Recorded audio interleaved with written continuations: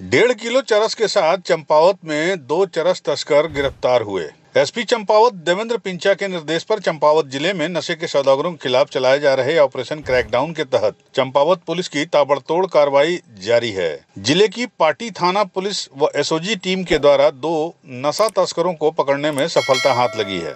Party थाने के SO Devnath Goswami ने बताया कि हल्द्वानी रोड में देवीधुरा क्षेत्र के जमनपुर के पास पुलिस टीम के द्वारा वाहन चेकिंग के दौरान आल्टो कार की संख्या U K zero four T B two eight six five को रोककर तलाशी ली गई। तो तलाशी के दौरान वाहन चालक ईश्वर सिंह, निवासी मुक्तेश्वर और किशन नाथ निवासी मुक्तेश्वर नैनीताल के कब्जे से एक किलो 540 ग्राम अवैध चरस बरामद हुई है, जिसकी अंतर्राष्ट्रीय बाज़ार में कीमत लगभग पंद्रह लाख रुपए है। एसओ गोस्वामी ने बताया कि दोनों चरस तस्करों को एनडीपीएस एक्ट में मुकदमा दर्ज करके गिरफ़्तार कर लिया गया है और वाहन को सीज कर दिया गया है। इसके अलावा अभियुक्तों के आपराधिक इतिहास की जानकारी ली जा रही है। एसओ गोस्वामी ने कहा कि नशा तस्करों के खिलाफ पुलिस का अभियान लगातार जारी है। पुलिस टीम में SO Devnath Goswami S I Surendra Kharayat, SOG प्रभारी head constable Banchi Singh Mahendra Dangwal constable Basant Pande शामिल रहे। आपको बता दें ऑपरेशन क्रैकडाउन चंपावत में पिछले कई महीनों से चलाया जा रहा है। बावजूद इसके नशे की खेप के साथ तस्करों की गिरफ्तारी का सिलसिला बदस्तूर जारी है।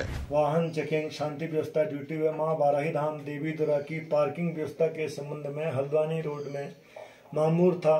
हमें देखकर एक Alto car UK zero four T V अट्ठाईस पैंसठ एकदम से जो है भाग गई शक होने पर हमारे द्वारा पीछा किया तो उसमें से दो व्यक्ति जो कजला कोट और सुनकोट के रहने वाले हैं, वाहन से एक किलो 540 ग्राम अवैध चरस जो है बरामद हुई। दोनों के विरुद्ध जो है अभियोग पंजीकृत कर माननीय न्यायालय पेश किया जा रहा है।